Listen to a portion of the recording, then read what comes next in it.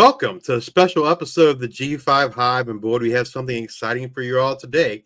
We have a very special guest joining us at Midlothian High School. He was named a first team All Region and first team All Metro. He was also named to the VHSL Region 5B All Academic Team. He spent a prep year at Fork Union Military Academy, and in a game against Delaware Valley University, he had six tackles, three sacks, four tackles for loss, and a block punt. He attended the University of Buffalo, where he made an immediate impact as a freshman, appearing in 11 games. He had three tackles and a forced fumble against UMass his freshman season. He appeared in 21 games for the Bulls before deciding to transfer to Kent State. This year, he is having a breakout season for the Golden Flashes and causing havoc on opposing offenses. He is one of the top edge rushers in the country with a havoc rate of 14%, with 14 total quarterback pressures, four tackles for loss, and three sacks. And he doesn't just eat the other team's quarterbacks. He has 24 tackles, 15 solos, nine assists, and an interception on the season as well. He is six foot four, 245 pounds. He is from Richmond, Virginia. He wears number 11 for the Kent State Golden Flashes. He is Kameron Olds. Welcome to the show, Kameron. Appreciate you for having me, man. That was a perfect intro. Like that joint was legendary. thank you, thank you. Yeah, we had some. We had some of your highlights. We had some. uh some old um old Julian Edelman. Yeah, yeah, yeah. yeah. It's tough. We, we we try to we try to capture some of the greats and, in program history in those intros, as well as uh, the That's players true. we are interviewing as well. Well, let's kind of start at the beginning. Who introduced you to the game of football? What you know? What caused you to want to start playing football?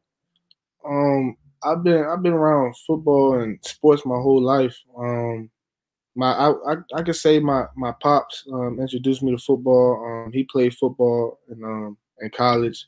He played for University of Tennessee Martin. Um, I got uncles who played football. Um, so uncles played football for Baylor. Um, so I've been playing football since I was five years old. So you know what I'm saying? It just it kind of kind of like grew on me. Like it just happened naturally. so did you play any other sports growing up? Yeah, so like actually basketball is my first love. Um basketball is my first love. Uh, I played basketball, I played baseball, but I stopped baseball a little bit. I kind of blame my parents for that. Uh, they took me out of baseball. I wish I would have stayed in baseball. I would have been crazy at baseball though. Eh, uh, basketball, did, did they always put you in the paint because your size, or yeah, that's how that's how just high school basketball works. Like if you if you like over six foot, you just gonna play in the paint. Like you just gonna play a four or five. But I feel like I can. I'm six four, like six three. Really, I feel like I can play like three. You know what I'm saying? Three in the NBA. I feel like I can guard one through five. I got the strength to guard.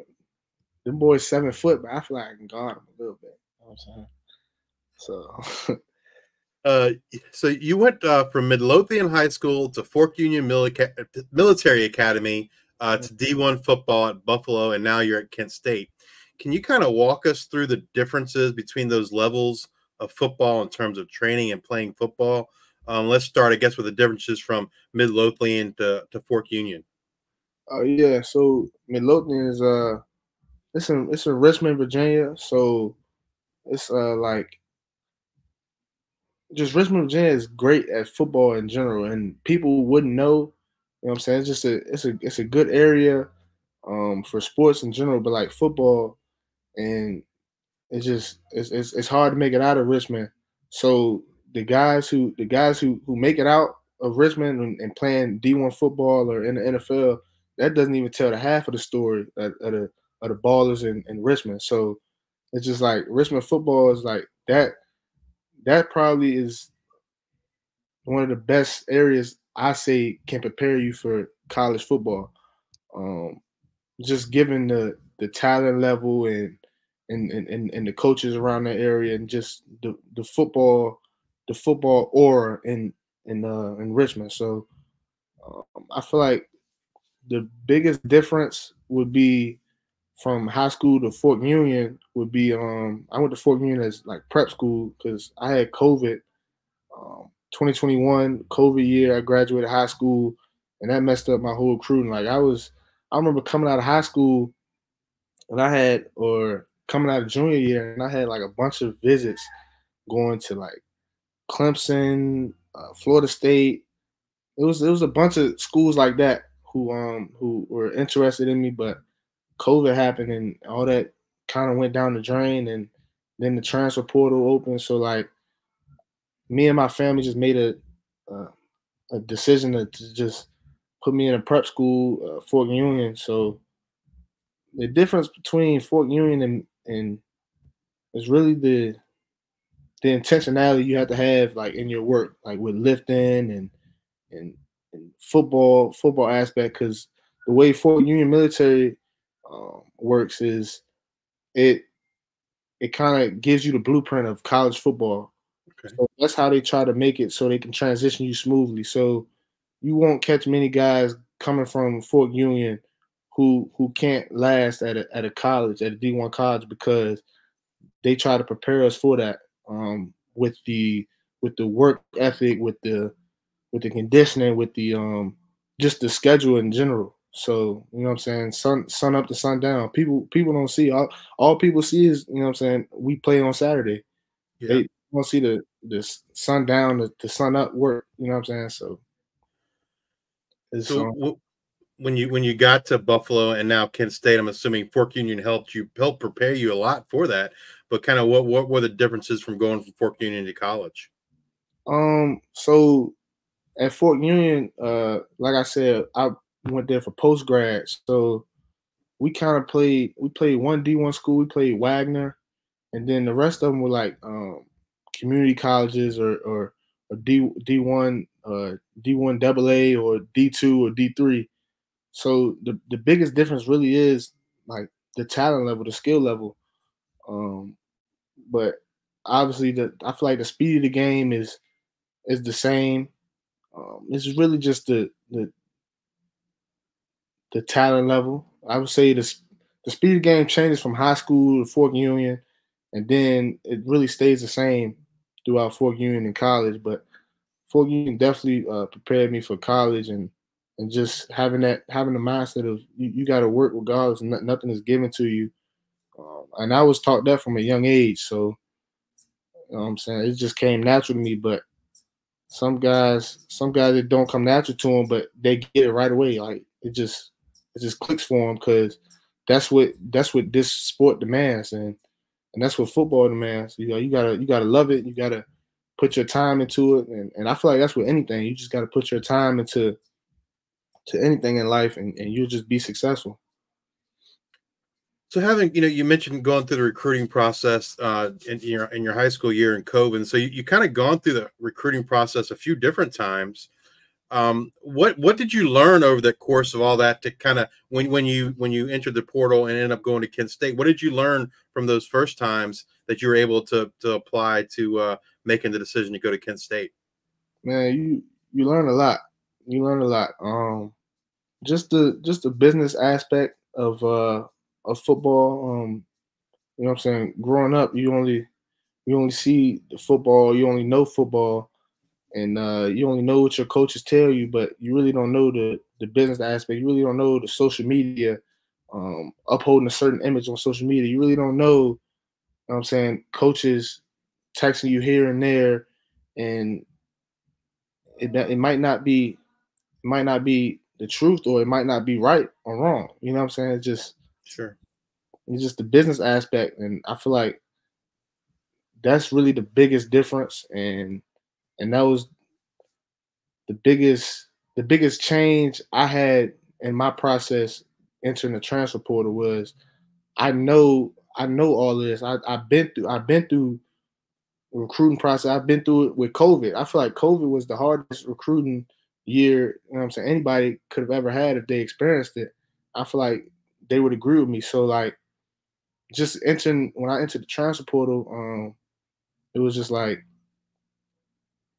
much better. It's I my eyes were way clearer. Like I didn't it wasn't blurry at all. Um, I feel like out of high school, eyes were blurry. Even my parents, because they they they're a big part of my recruiting process. They their eyes were very blurry. And I feel like in the transport, it was just it wasn't it wasn't blurry anymore. I just I saw past all all the BS. Um, so it wasn't it wasn't really much I could get fooled on, or wasn't much I couldn't get. So, what advice would you give to an aspiring high school player about the recruiting process? Um, I, I would say just like rely on rely on the people around you, rely on the people you trust, uh, and, and, and trust what they have to say, uh, as well as trusting your your, your parents or whoever whoever raised you, um, and just follow follow your heart. Um, not necessarily not necessarily your mind, because your mind might tell you different things, but you like you got to really follow your heart, and you might not feel it until you feel it.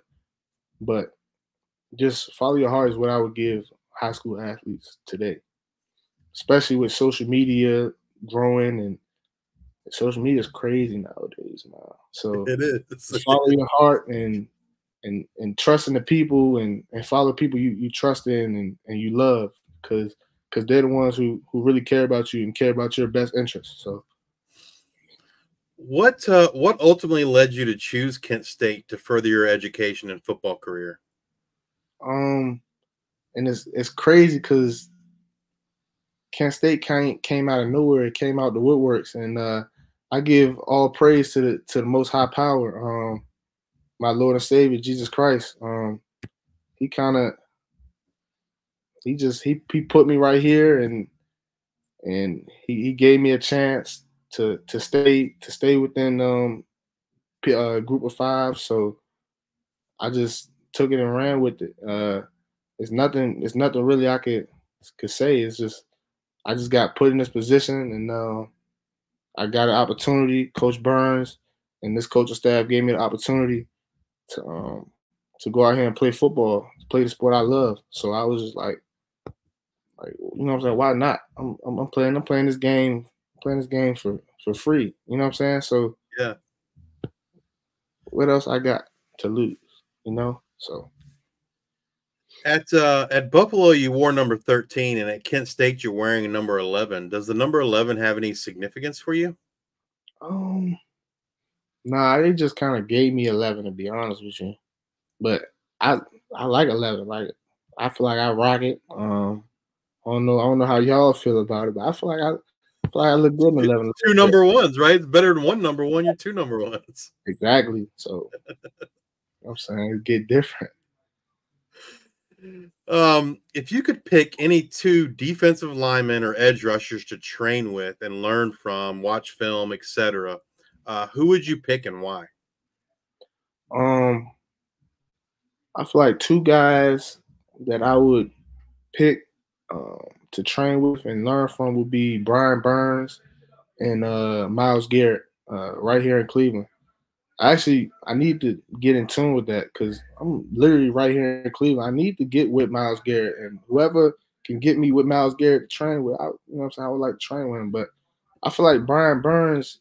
I feel like I play like him in a sense. I feel like my game kind of models him. Uh, just just how he moves and pass rush wise and and how, he was in college. And then Myles Garrett is just a, a freak of nature. So I feel like the way the way he trains and his mentality to how, how he goes about things, I feel like I had the same mentality um, just from the outside looking in. So, um, and he's just a freaking nature. Both of them are a freaking nature. Um, so I feel like those two will be the ones I want to train with. When you're studying film and watching other edge rushers, uh, which things are you paying the most attention to? Uh, I pay attention. I pay attention to their to the different get off. Everybody has a different a different way they they rush the passer. Um, I even now I have a different way of the way I rush the passer, and I'm still trying to find different intricates um and different pitches I like to call them uh, that I need to use and, and utilize. So the biggest thing I look at is is their get off.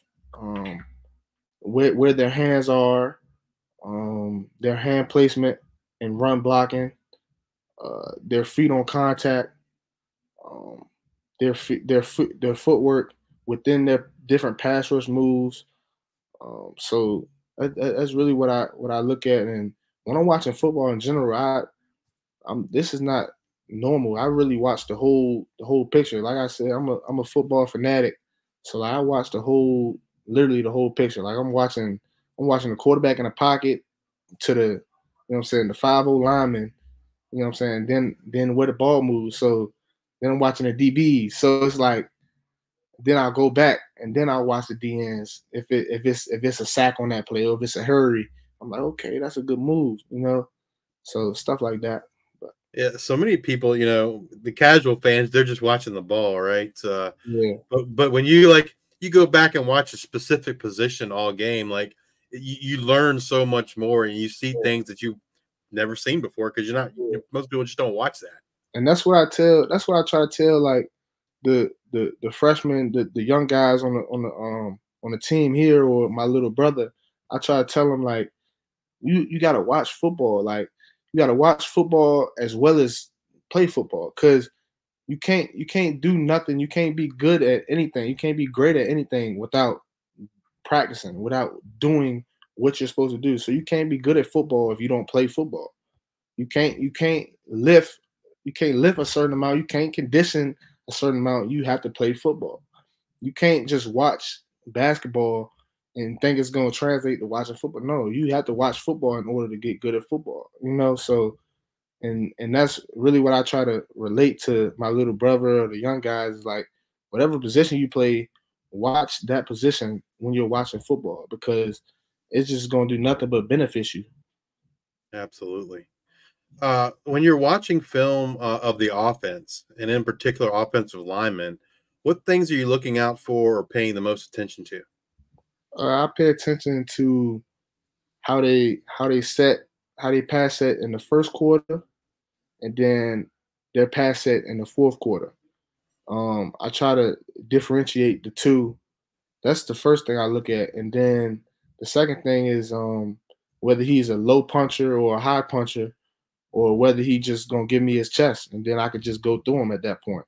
You know, so like that's really what I look at when it comes to um, offensive linemen and and and, and, how they go about their business. And, and you can kind of see, like, you really see uh, the true demeanor of offensive lineman when when you watching film in the third quarter.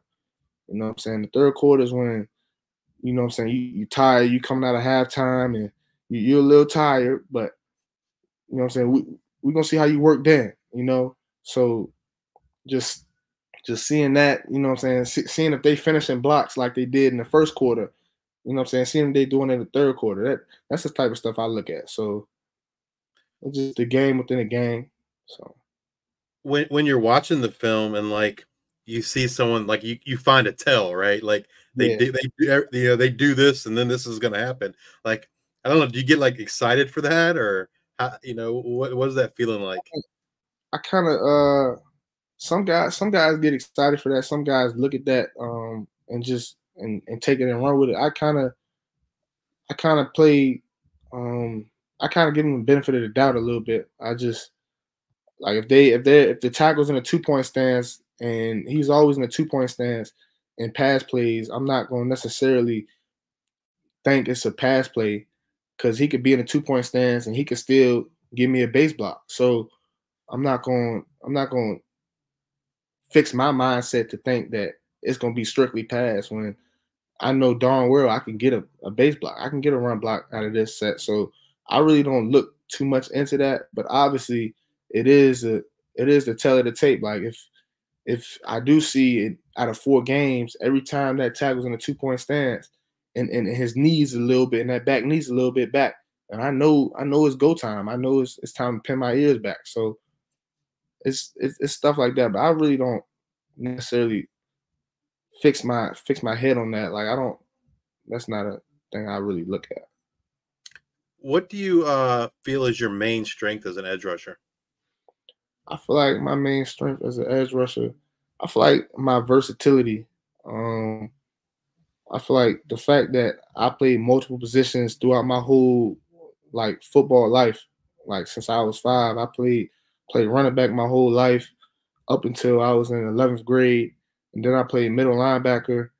Um, so just my my versatility, like me me knowing different things within football, just helps me at edge rusher because I feel like if you know what the what the guys around you are doing, then it makes your job even more easier. And I feel like as an edge rusher and as a D lineman in general, it can get misconstrued that you have to that you don't have to know what what the other guys are doing on the field because it really it really helps you if you do because now you know what certain plays are coming you know what that guy's doing behind you so you know you can't do a certain you know what i'm saying so you can't mm-hmm. jump in the b gap and you know you got the c gap you know what i'm saying so yep. that that's really my i feel like is my versatility for for what was an area of your game that you worked on the most uh, this past off season um, just my intentionality with um playing playing the position uh deep defensive end. Like my first my first year playing defensive end was um out of Fork Union when I came to Fork Union.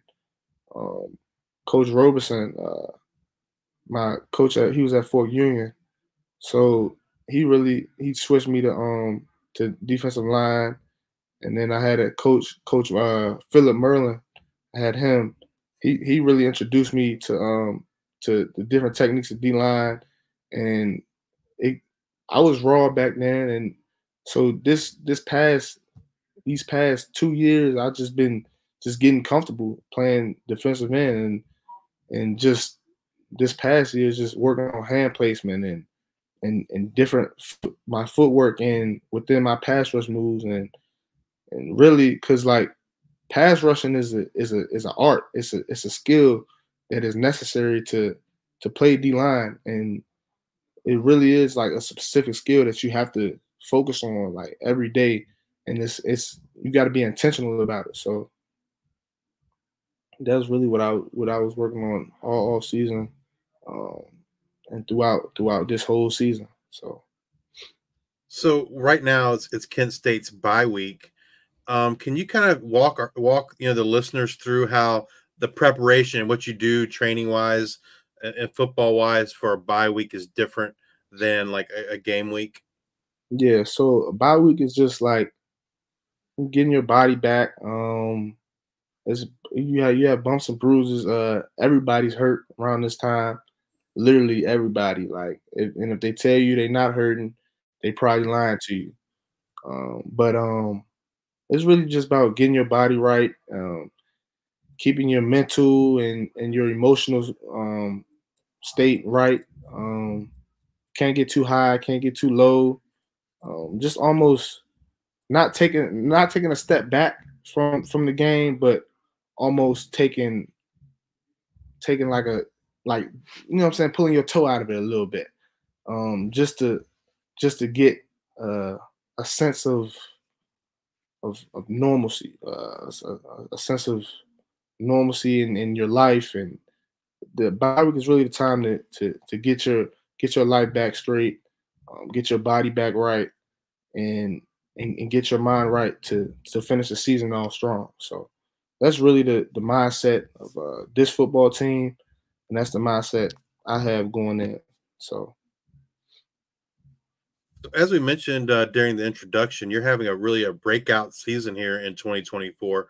But I wanted you to give you an opportunity to shout out some of your teammates. Who are some folks that uh, that that uh, the fans need to know about and look out for at Kent State this season? Yeah, I mean there are a bunch of guys, and I mean if you, it's really not, it's really not much you can you can say because with the eye in the sky don't lie. It's, it's about film. So, and that's what and that's what I always resort to. And like I feel, even I feel like I haven't I haven't done enough. I feel like I haven't done enough. Like like you saying I have a breakout season. I feel like like this is this is nothing. Like I need to do more. I need to do way more. So it's just it's just about being intentional with with your film, being intentional with your technique, being intentional with self critique. Um, because I feel like there's no bigger there's no bigger critique than myself. So, and I and I try to tell the young guys that. So I feel like I feel like all the guys that are succeeding, like like Kai Thomas and and, and, and Tommy and uh Krishan, I feel like I feel like they are big critiques of themselves. So it just you play you play better and you play more freely because can't nobody tell you what what you did wrong or right because you know what you did wrong and you know you you beating yourself up about it to fix it. And you know you just got to respond. You know, so it's just simple stuff like that. I know, I know. For me, like you know, you guys are getting ready to start uh, conference play, and you know, I'm excited on the offense. I would say, you know, to see Tommy and, and Kai and Aiden Harris and Luke and and uh, Krishan, man, like uh, it just seems like you know those go those guys are going to really get going here. Yeah, like um, the receiving core, the receiving core is crazy, and I feel like, and Tommy's just getting Tommy's just getting loose. Like he kind of had he kind of had his his his his gray area a little bit. Um, and I just feel like he's out there. He's playing freely. He's he's playing he's playing like like I got I got nothing to lose. Like I'm out here playing football. Like this is the game I love. Like and I feel like that's that's what everybody and anybody should be playing like. Um like like this your last time on the field. Like like I, I've been playing since I was a kid. So like this is fun. Like it has to be fun out there for you. You know what I'm saying? So yeah, absolutely yeah, defense, I'm looking forward to you and Steven just wreaking havoc on those yeah. opposing quarterbacks. Yeah, we just gotta and, and, that's and that's another thing. Like with defense, we just gotta play as one. Everybody do their one eleventh and everybody trusting that everybody else is gonna do their one eleventh. So it all could come together. And like I feel like it might not look like it, but I feel like we was in every game these five games. And it's just, you know what I'm saying, one one guy here or there, or you know what I'm saying, one play here or there, or one penalty, one penalty here or there. So it's like it's like that that that notch has got to click for some guys. And uh and sometimes 0 and 5, you know what I'm saying, starts that starts that click. So I feel like we're going in the right direction. Um I feel like the coaches are handling everything right. So I'm excited excited for these next seven games. If someone has not seen you play, what one game would you recommend for them to watch?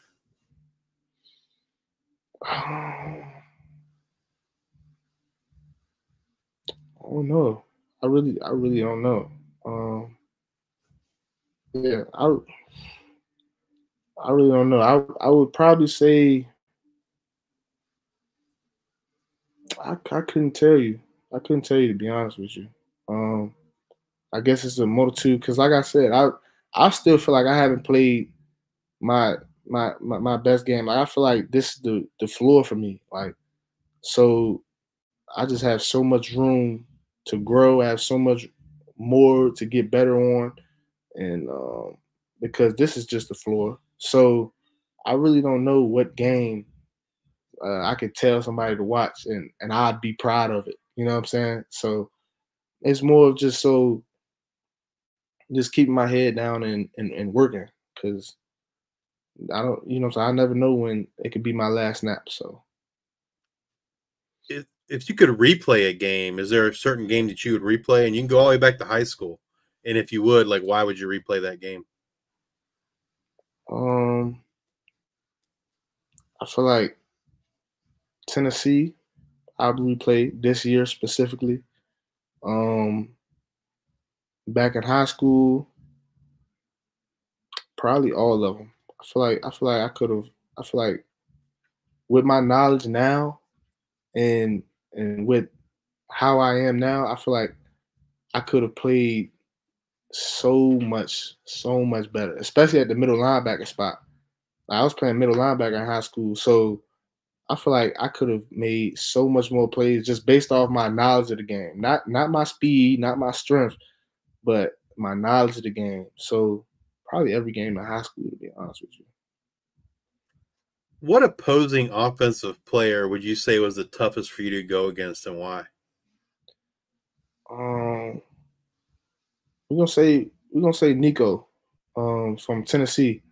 Uh just because just because he he was sitting in that he was sitting in that pocket and he, and he was throwing cold in there, and uh and he almost didn't he almost didn't didn't care that he was gonna get hit that play, and uh and if he was sitting in the pocket and the pocket did break down, which it did that game, um he would take off and run, and he would still look to pass. And you don't see that from a freshman quarterback um, a lot. So I, I'll probably say Nico, and and obviously he still got he still got a ways to go. Uh, he's just a freshman. He's just getting started. So, um, but I I probably say Nico after watching that game. Do you have a particular routine that you have on game days, or a particular song or artist that you like to listen to?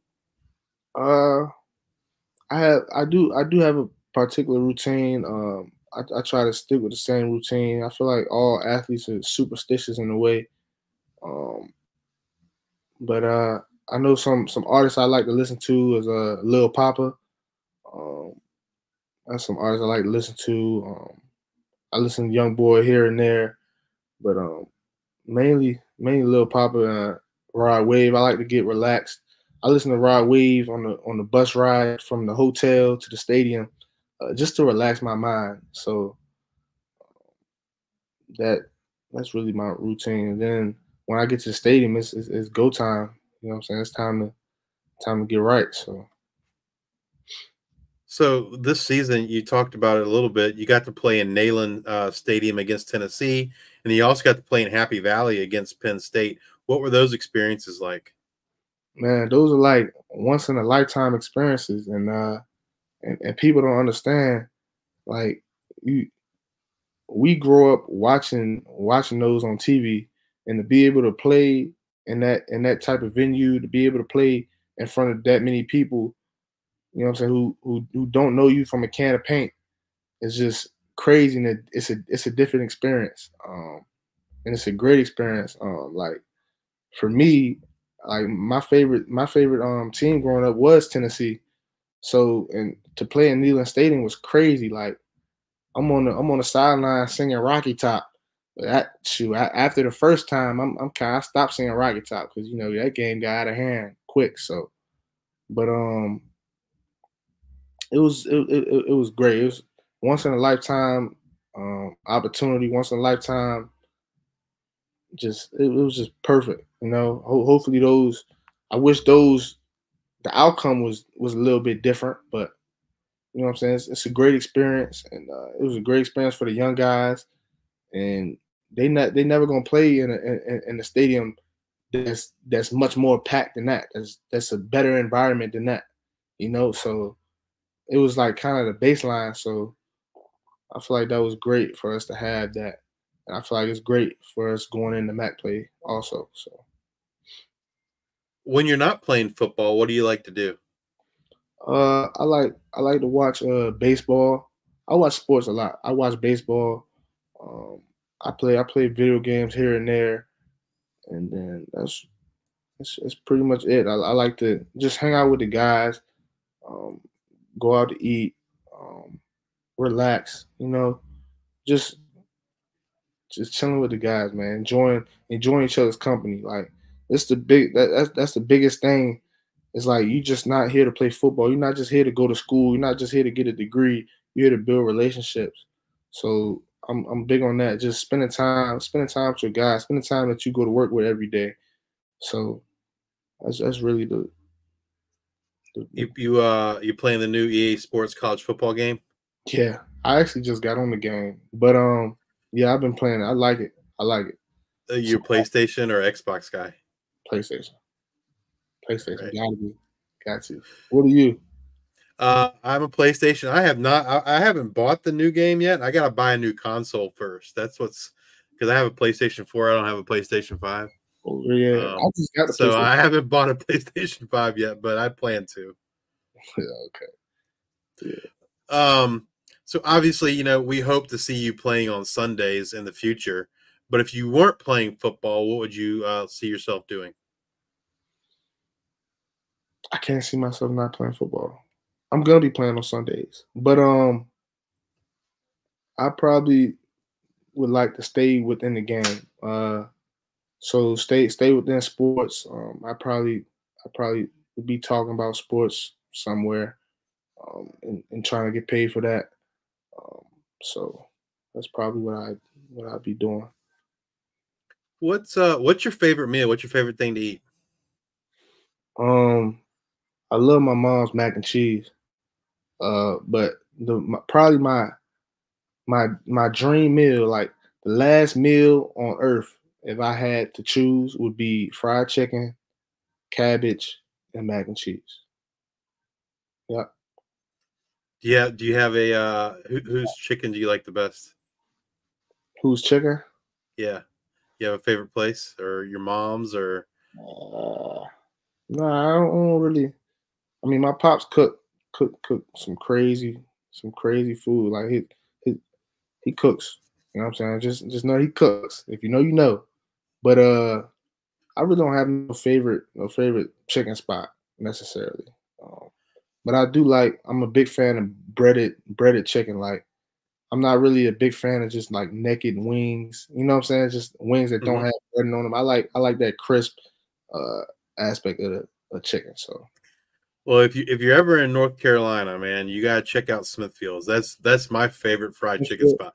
It's called Smithfield's Fried Chicken and Barbecue. It's it's a chain, um, primarily around like the Raleigh area, okay. but um, yeah, it, it's it, it's good stuff, man. It's definitely my favorite chicken. yeah, I gotta go visit there one time. Smithfield's. It's called Okay. Smithfield's. Their barbecue is pretty good too, but their their chicken, like to me, is just unbelievable. Mhm, okay. Um, if you could sit down and have a conversation with any three people of your choosing, they can be dead or alive. Who would you choose and why? Um, well, for starters, one person I, I, I would like to have a conversation with would be uh my my grandmother uh on my dad's side, my dad's mom, uh Grandma Louise. I probably want to talk to her. She she passed away uh when my pops was a young age. Um, so I, I just really wish I could I could talk to her. I, I, I hear a lot from my family members that that I, I kind of resemble her and that that I had that I act like her. So I I, I really want to talk to her and um and just just talk to her and, and, and fellowship with her. Um, I feel like I feel like I missed out on that, but she's living through me and um and, and, we here now. So uh another person I, I would like to meet uh LeBron. I would like to meet LeBron. Um and then Roger Goodell. I'm gonna say Roger Goodell for the immediate immediate goals. You know what I'm saying? Yeah. Roger Goodell. If you had to tell an aspiring high school player what the hardest part of playing college football is, what would that be? Um, just the consistency it requires every day. Um, not just on Saturdays. Um, like the consistency in practice, the consistency in, in the in the classroom, um, and being intentional in in your work when while you're in practice. You know, and it's all about it's all about the small things, and and we can all get better. And I'm and I'm continuing to get better with just being intentional within the small things in life, because the small things in life matter. So um, I just one thing I, I tell high school athletes would be beneficial to in college would be hard. It's an acronym. It's uh, hard stands for handle adversity and respond and dominate. Um, I just feel like you going you gonna have adversity um, coming in college. You just gotta you just gotta handle it and respond, and then dominate. You gotta respond to it the right way, you just gotta dominate. So just just handle the hard, you know. Absolutely. Um, if folks want to support you, you know, in, in today's world, that's super important. Um, you know, with with NIL and, and you know, showing love for for the athletes of your favorite school. If folks want to support you, how can they do that? Um, they can support me by by just I have a I have a influencer. Um, I just started influencer. Um, got some shirts made for me uh, with my name on the back of it. That could influence. me. Just um, follow me on Twitter. Um, reading read, reading interactions or follow me on Instagram. That, that- that's really that, that's really about it. Um, just just watching, just watching me and and supporting supporting me. That that's the biggest the biggest thing anybody could do. You know what I'm saying? Just support. And I feel like we all need support. in this life. All right, uh, let's get you out on a fun question here. Uh, Coach Burns comes in and says, "No need for pads today, boys. Grab your running shoes. We're doing laps." What position group does your mind go to? You think, "Hey, it's these guys' fault." The O line. Okay. The O line. Just because, just because they're they're they're a little bit bigger than everybody else, and and and and they don't want to and they don't want to run so I would assume that it would be their fault that we're running. right. Yeah. Well, uh, you know, a, a, couple, uh, I don't know, been a couple weeks ago, I guess. I, I was having a really rough day the day before. Um, I had a I had a super early doctor appointment that morning. I walk, you know, walk out of my doctor's appointment. It's like I don't know. I get done like 8 a.m. and, and I look at my phone and I have a I have a a, a, a message on my X account, and it's not the G5 Hive account; it's my personal account, mm-hmm. and um, it was from Kameron, and you know, and Kameron. I guess the day before we had posted some stuff about the season you're having at um, at Kent State, and and Kameron had he just basically just sent a note saying thank you, and um, that that little message meant a lot to me that day. I, like I said, I was having a rough day, and you know, just I was sitting there thinking about. I'm like, you know, this is like that. That message is why we do this. Like why we do this show um, to promote you guys, promote the G5, promote the the players in the G5, and you know, you like not only did you take the time to say thank you, you sent it to my personal account, which mm-hmm. I don't mm-hmm. know, just it just really spoke to me. Um, I actually teared up a little bit that day. Um, and so, you know, thank thank you again, Kameron. Um, I, I, I shared the I uh, shared the story with your dad, and um, you know, that I think I asked you, I, I said something to you like, and you were like, "Well, that's just the way I was raised," and so I shared that story with your dad, and your dad said, "Now you're gonna make me cry." yeah, yeah. So you know, you shout out it. to you and your parents, man. Like you're just just a, a, an awesome human being, um, and, and we need we need more of you in the world. Yes, sir. Appreciate you uh, shout out to you and, and everything you're doing. This this G5 like it's it's big um because like like you said you you do this for us to to to create um to create some some some ways for us. Um so it just it, it's it's big time. Seeing seeing different group of five guys who who are jumping on the scene and it's just everybody doesn't get that you know so absolutely, like the national media doesn't really care about the group of five. They they prove to me they prove that time and time again, whether yeah. it's the, the the AP polls or you know mm. like the Heisman stuff. Like I don't understand like like yeah. Ashton Jeanty keeps this up and he doesn't win the Heisman. That's just like that's yeah. criminal. Yeah, exactly. you know, saw- but because he plays in the group of five, they don't they don't you know necessarily give him the respect that he deserves. But- yeah, and, and, football is football, and, and there's ball players everywhere. So, and it's just like you you just doing a great job and and, and showing that, and, and and making it and making it known, um, and confirming it. So, I appreciate you for doing that. And, um, Absolutely. Yeah, appreciate well, uh, here. Thank you for taking some time out of your day to spend with us. Uh, we greatly appreciate it. Yeah, appreciate you. If you're uh, watching on YouTube, please hit that like and subscribe button. And if you're listening in podcast form, please rate and review on Spotify or Apple Podcasts. Thank you all for your support. And until the next time, we are the G5 Hive.